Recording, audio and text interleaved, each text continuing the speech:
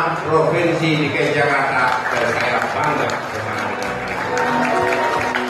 Teruslah berjalan, teruslah berjalan dan bekerja di jalan yang lurus, di jalan yang terang benderang dan berikanlah hatimu, pikiranmu, tenagamu untuk melayani warga Jakarta dengan sepenuh hati.